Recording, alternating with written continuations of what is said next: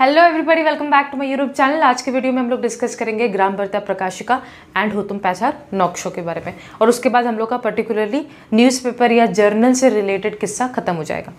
देखो बेटा, ध्यान से समझना। ग्राम वर्ता प्रकाशिका 1863 टू 1885 स्टार्टिंग में ये जो था ग्राम वर्ता प्रकाशिका बाय द वे ये एक जर्नल है।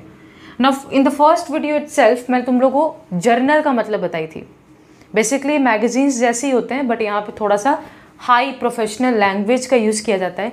सो so दैट हम जो एजुकेटेड सेक्शन है सोसाइटी का उसको इन्फ्लुएंस कर सकें। अपना बात उस एजुकेटेड सेक्शन तक पहुँचा सकें। ये हमारा मेन मोटिव होता है।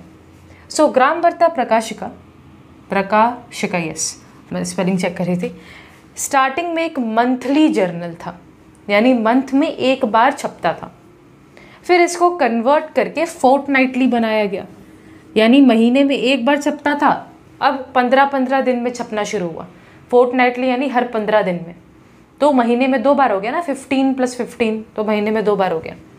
फिर इसको और भी ज़्यादा फ्रीक्वेंट बनाने के लिए वीकली जर्नल कर दिया गया। तो एग्ज़ाम में अगर क्वेश्चन आता है कि ग्राम वर्ता प्रकाशिका कैसा जर्नल था स्टार्टिंग में तो स्टार्टिंग में तो मंथली जर्नल था। फिर फोर्टनाइटली और फिर अल्टीमेटली वीकली बना। ओके उसके बाद ये बंगाली लैंग्वेज में था as the name suggest Gram Varta Prakashika नाम से समझ में आ रहा है कि ये बंगाली लैंग्वेज में था। इसके एडिटर का नाम बहुत इंपॉर्टेंट है एग्ज़ाम पॉइंट ऑफ़ व्यू से। कंगाल हरिनाथ मजुमदार। कई बार कंगाल नहीं लिखा होता, सिर्फ़ हरिनाथ मजुमदार ही लिखा होता है ऑप्शन के अंदर तो हरिनाथ मजुमदार जो भी दिया होगा, उस पर टिक करोगे। अब देखो, ये कंगाल शब्द बड़ा अटपटा सा लग रहा है।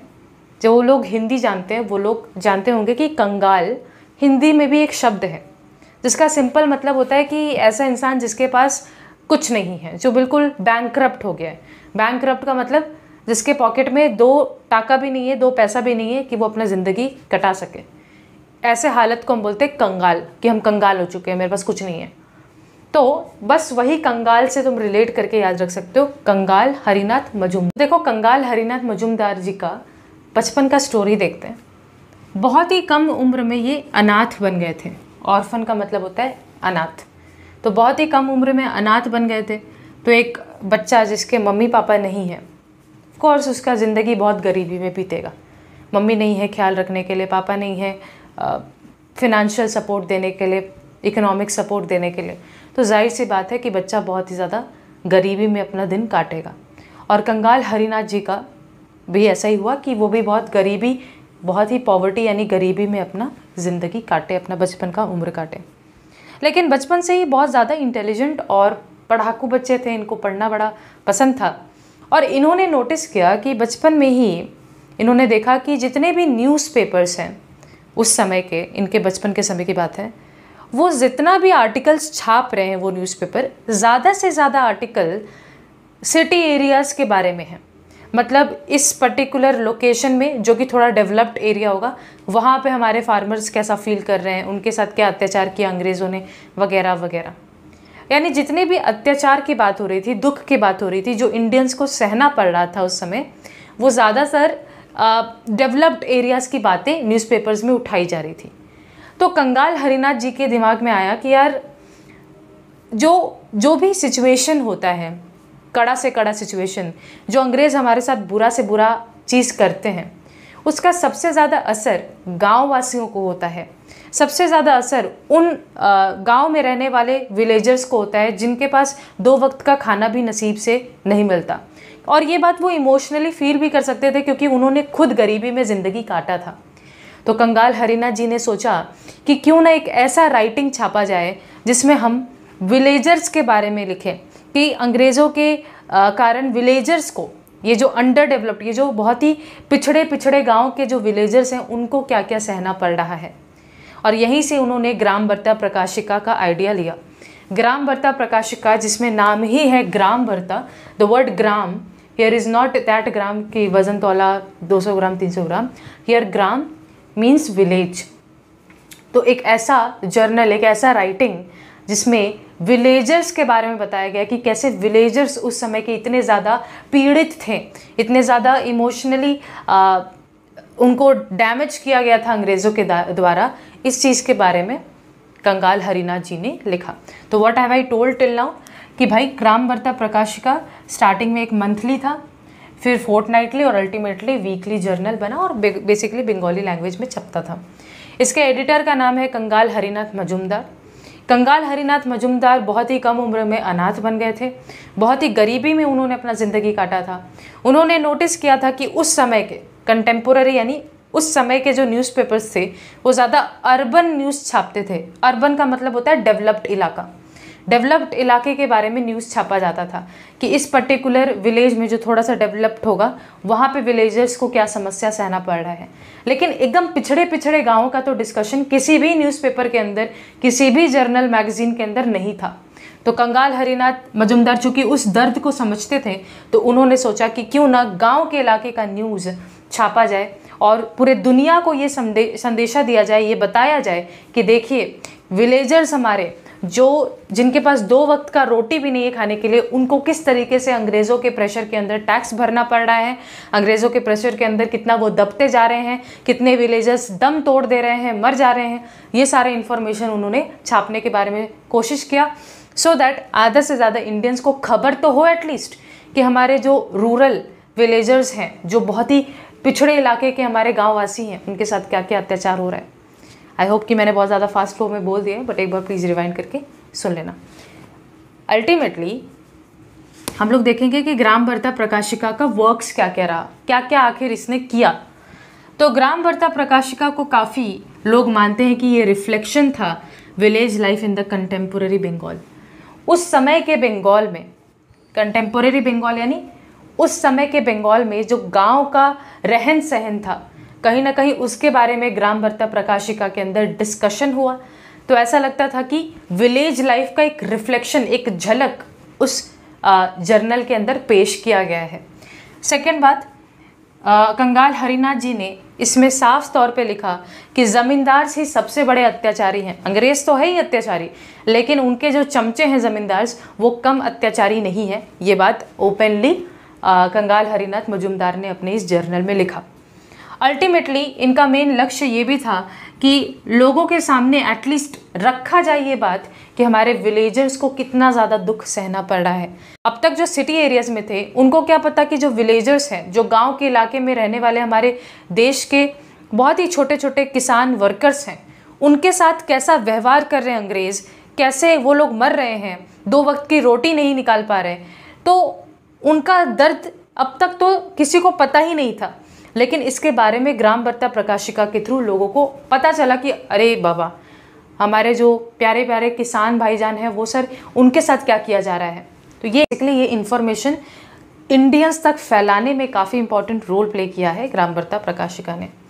अल्टीमेटली अपने इस जर्नल के अंदर इन्होंने लिटरेचर फिलोसॉफी साइंस इन सब के बारे में कुछ आर्टिकल्स भी छापे।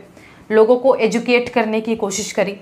और इंपॉर्टेंट फिगर जैसे कि रविन्द्रनाथ टैगोर जी, इन्होंने खुद रविन्द्रनाथ टैगोर तो बहुत बड़े, बहुत सारे फ़ील्ड में उनका महारत हासिल है। तो रविन्द्रनाथ टैगोर लिखते बहुत ज़्यादा थे। तो रविन्द्रनाथ टैगोर के कुछ एसेज भी इस आर्टिकल के अंदर पब्लिश हुए थे। तुम लोग को अगर आगे फॉरवर्ड कर देना है then you can for sure Gram Varta Prakashika 1863 to 1885 starting में monthly then fortnightly and ultimately weekly इसके एडिटर का नाम कंगाल हरिनाथ मजुमदार। बहुत ही गरीब परिवार से थे, अनाथ बन चुके थे बचपन से। इन्होंने नोटिस किया कि जो बड़े बड़े दिग्गज न्यूज़पेपर्स हैं, वो तो सिर्फ़ डेवलप्ड एरियाज़ की न्यूज़ छाप रहे हैं। लेकिन हमारे प्यारे छोटे छोटे बहुत ही पिछड़े गाँव वाले विलेजर्स का तो न्यूज़ कोई छाप ही नहीं रहा है। इसी डिसीज़न के साथ ग्राम वार्ता प्रकाशिका ने विलेज लाइफ का खुला रूप में डिस्कशन किया अपने इस जर्नल के अंदर। तो ऐसा लगता था कि विलेज लाइफ का एक झलक दिख रहा है इस ग्राम भरता प्रकाशिका के अंदर। इन्होंने लिखा साफ़ तौर पे कि ज़मींदार सी हैं, अंग्रेज़ों के बाद सबसे बड़े अत्याचारी। इन्होंने लोगों को ये बताने की कोशिश करी कि कितने ज़्यादा पीड़ित हैं हमारे, कितने ज़्यादा डाउन ट्रोडन हैं हमारे विलेजर्स जो कि बहुत ही पिछड़े इलाके से बिलोंग करते हैं। अंग्रेज़ों के अंडर वो कितने दबते जा रहे हैं, लोग मरते जा रहे हैं, इसका इन्फॉर्मेशन बाकी लोगों तक पहुँचाया। आर्टिकल्स लिखा लिटरेचर फिलोसॉफी साइंस के ऊपर। उसको छापा इस जर्नल के अंदर। जर्न सॉरी रविन्द्रनाथ टैगोर जी भी हैं। उन्होंने भी काफ़ी अपने एसेज सबमिट किए पब्लिश करने के लिए इस जर्नल के अंदर। सो so, एग्ज़ाम में यही इतना ही दूर से क्वेश्चन आ सकता है। एक दो पॉइंट अगर एक्स्ट्रा कहीं से आ गया तो फिर टेस्ट पेपर सॉल्व करने के दौरान तुमको पता चलेगा। अब इसी के साथ हम लोग डिस्कस कर लेते हैं हुतुम पैशर नॉक अब हम लोग डिस्कस करते हैं हुतुम पैशर नॉक्शो तो देखो अजीब सा नाम है, जब मैं पहली बार सुन रही थी मी बिंग नॉन बंगाली मेरे लिए तो अजीब ही लगता है। तो हुतुम पैशर नॉक्शो सबसे पहली बात ये एक बुक था, ठीक है? ना ये एक न्यूज़पेपर था, ना ही जर्नल ना ही मैगजीन ये एक बुक था। ऑल राइट अब यहाँ पे ज़रा ध्यान से सुनना। पैचा जो होता है, पैचा का मतलब होता है आउल हिंदी में हम क्या बोलते हैं? उल्लू। है ना? और नौक्षा नौक्षा डज नॉट मीन मैप ऐसा नहीं कि इंडिया का नक्शा, इसका बात नहीं हो रहा है। नौक्षा is a type of writing जहाँ पे ऊपर ऊपर से पढ़ के तुमको हँसी आएगा। लेकिन उसके अंदर जो चीज़ें लिखी होंगी, वो बहुत ही ज़्यादा सैड होगा। जैसे ऊपर ऊपर से तुमको कोई एक पर्टिकुलर मान लो कोई ऐसा मीम है। मीम समझते हो तुम लोग, ऐसा जोक है, जिसको ऊपर ऊपर से पढ़ के तुमको हँसी आ गया।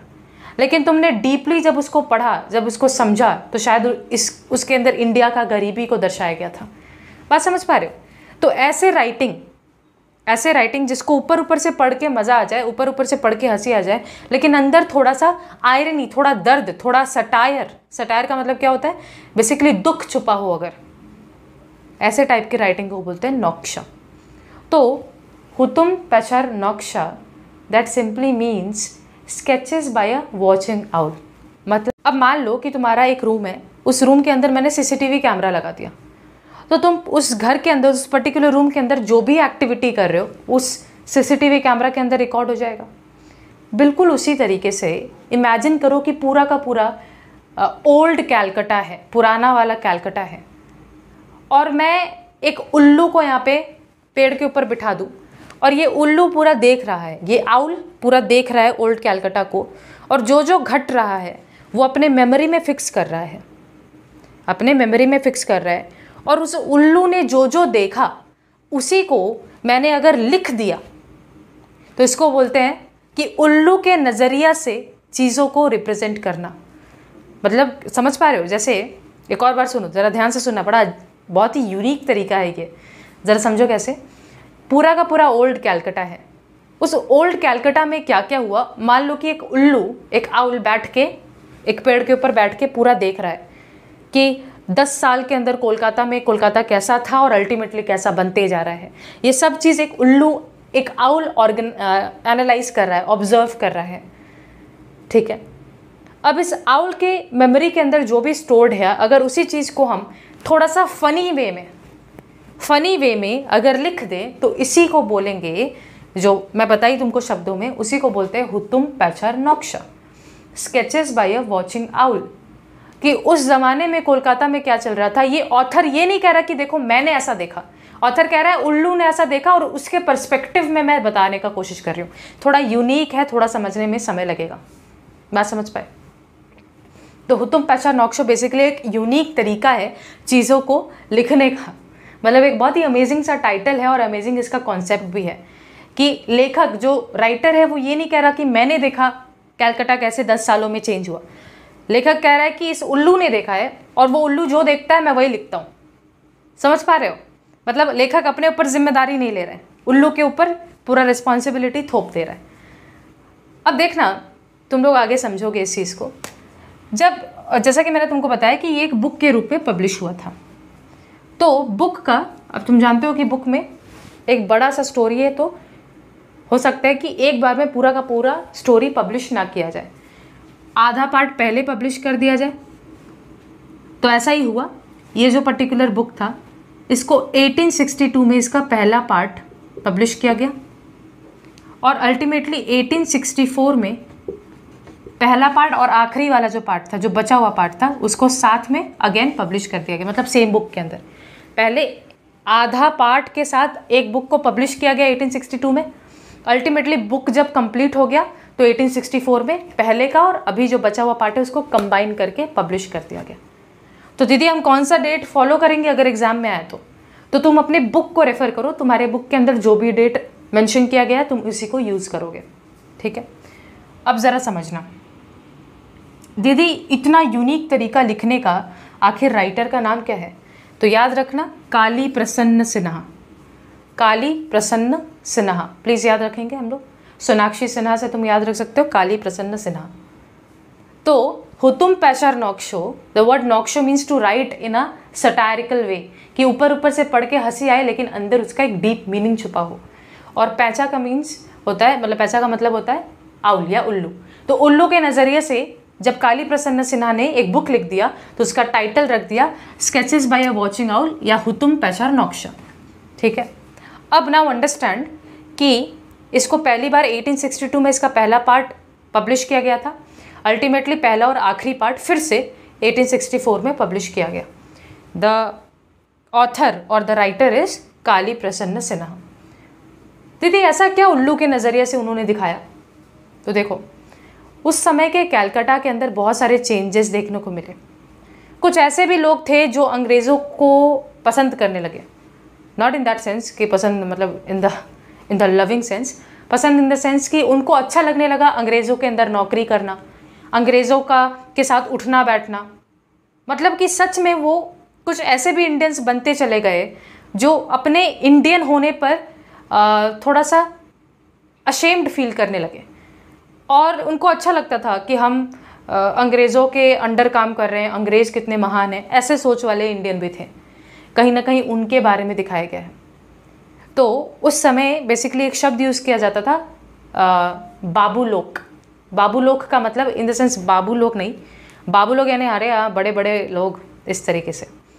बेसिकली बंगाल के अंदर इतने पढ़े लिखे एक वर्ग क्रिएट हो गया था, जो तुम लोग जानते भी हो पढ़ा लिखा class that was the Bengali intelligentsia Bengali middle class ये इतने पढ़े लिखे हो गए थे कि कई बार तो ये अंग्रेज़ों को सपोर्ट कर रहे थे।